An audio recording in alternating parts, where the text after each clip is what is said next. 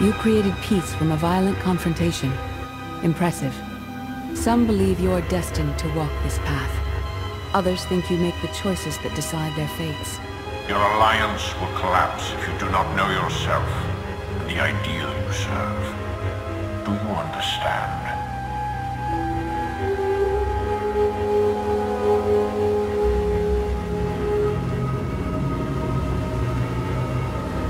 There is no destiny.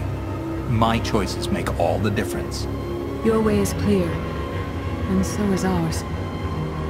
Do you feel it, Marr? The Force draws us elsewhere. The exile on Odessen is over. A new path has opened thanks to you.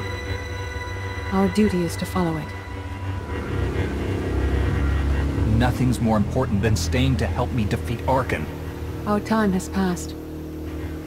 This is your war to fight. Trust in the path ahead. The Alliance awaits its commander. Farewell.